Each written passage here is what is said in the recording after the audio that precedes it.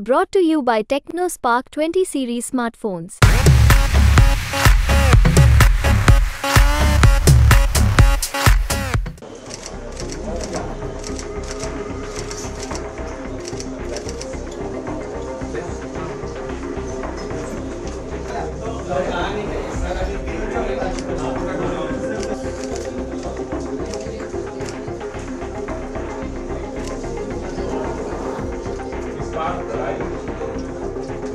मौजूदगी भी हमें यहाँ नज़र आ रही है। लोकसभा चुनाव में सबसे ज़्यादा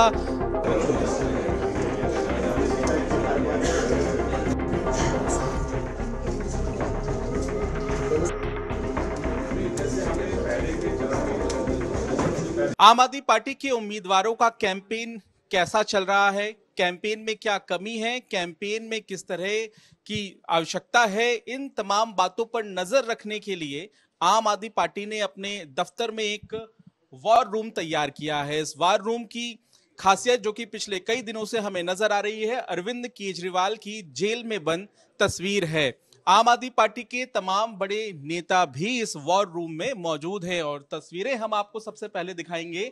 यहाँ पर चाहे डिजिटल प्लेटफॉर्म्स हो, चाहे सोशल प्लेटफॉर्म्स हो, या फिर अलग अलग न्यूज़ चैनल को निगरानी करने वाले मीडिया टीम हो, ये सभी आपको यहाँ पर नज़र आ जाएँगे। रिसर्च टीम की मौजूदगी भी हमें यहाँ नज़र आ रही है। लोकसभा चुनाव में सबसे ज़्यादा ज़रूरी होता है लीगल बातों का ध्यान रखना। तो लीगल टीम को भी हम यहाँ पर देख पा रहे हैं। दिल्ली में सत्तर विधानसभाओं में आम आदमी पार्टी के पास सबसे ज़्यादा सीटें हैं और मैप जो आप यहाँ पर देख पा रहे हैं, ये दिल्ली की सत्तर विधानसभाओं का मैप है। और इसके अलावा आप इस तरफ़ अपनी नज़र लेकर जाएँ तो आपको यहाँ सबसे पहले नई दिल्ली लोकसभा क्षेत्र का मैप नज़र आ जाएगा। और एक अहम बात यह भी है कि यहाँ पे जो वॉलेंटियर्स बैठे हुए हैं, इन्होंने पीले रंग की जो टी शर्ट पहनी हुई है, उसमें भी अरविंद केजरीवाल का समर्थन करते हुए आम आदमी पार्टी का जो नारा है, जेल का जवाब वोट से, उसे दर्शाते हुए ये सभी नज़र आ रहे हैं। यहाँ पे वेस्ट दिल्ली का आपको मैप नज़र आ जाएगा। तमाम जो आंकड़े होते हैं उन पर खास तौर से फोकस करने की कोशिश है। और देखना यह होगा कि ये वॉर रूम आम आदमी पार्टी के लिए कितना सफल साबित होता है। गोपाल राय यहाँ पर हैं पंकज गुप्ता यहाँ हैं और ये भी आप पोस्टर देख लीजिए जो बड़ा सा यहाँ पर लगाया गया है। गोपाल राय से सबसे पहले हम बातचीत कर लेते हैं। आ, ये बताइए कि किन किन बातों का आप यहाँ से ध्यान रखेंगे? और दूसरी बात यह भी है कि इंडिया गठबंधन के तहत आप चुनाव लड़ रहे हैं। तो बाकी जो उम्मीदवार हैं कांग्रेस के उन पर भी कैंपेन पर नज़र रखने की कोशिश होगी? देखिए दिल्ली के अंदर इंडिया गठबंधन के साथ मिलकर के आम आदमी पार्टी चुनाव लड़ रही है। आ, चार सीटें पूर्वी दिल्ली पश्चिमी दिल्ली साउथ दिल्ली और नई दिल्ली। चार लोकसभाओं में आम आदमी पार्टी के कैंडिडेट हमने उतारे हैं। तीन लोकसभाएँ कांग्रेस के पास हैं। आम आदमी पार्टी का ये वार रूम ये जो चार लोकसभाएँ हैं इन चार लोकसभाओं में 40 विधानसभा क्षेत्र आते हैं। इसमें एक वार्ड हैं इन चार लोकसभाओं में। एक हज़ार चार सौ चौवालीस पोलिंग स्टेशन है मतदान केंद्र हैं और सात हज़ार चार सौ संतानवे बूथ हैं। तो कैंडिडेट के नॉमिनेशन से लेकर के और बूथ मैनेजमेंट तक पोलिंग मतदान कराने तक ये सारा जो काम है वो सारे काम को जो है आज से ये वार रूम ने अपनी जो है मोर्चा को संभाल लिया है।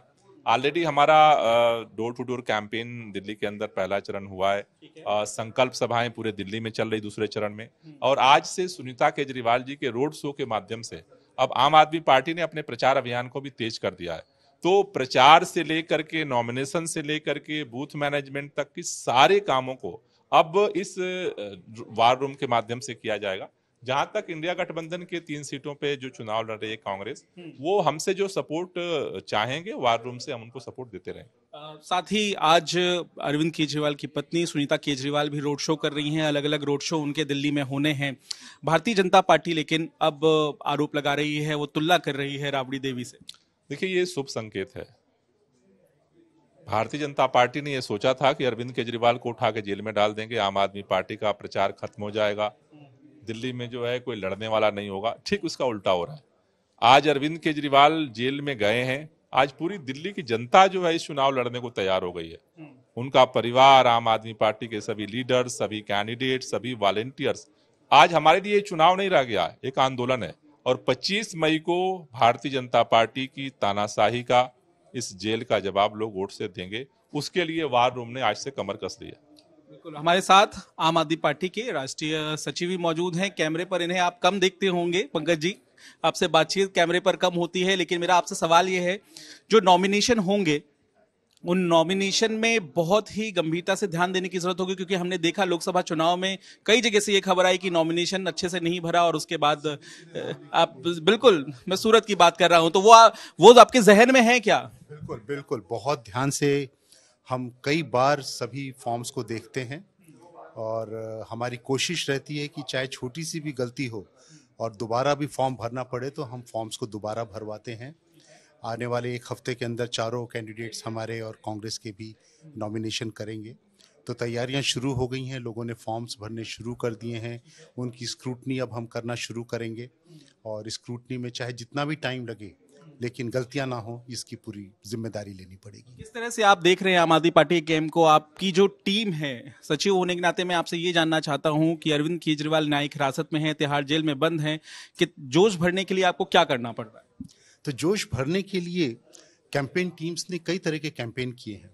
और हर कैंपेन में सबसे अच्छी बात जो निकल कर आई है कि भले ही अरविंद जी इस समय जेल में हैं, लेकिन दिल्ली की जनता का पूरा का पूरा प्यार, पूरी की पूरी हमदर्दी और पूरी पूरी उम्मीद अरविंद जी से अभी भी जुड़ी हुई है और जुड़ी रहेगी।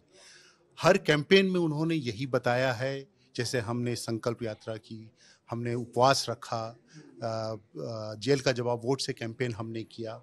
हर कैंपेन में यही नज़र आया कि दिल्ली की जनता हर बार यही कह रही है कि अरविंद जी कब बाहर आएँगे, कब हमारे साथ दोबारा दिल्ली के शासन को देखेंगे।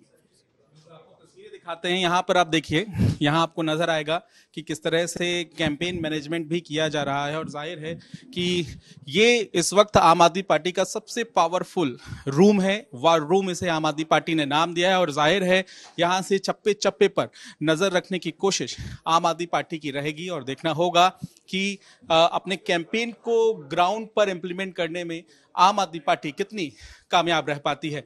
कैमरामैन अंकित सिंह के साथ पंकज जैन, दिल्ली। आज तक।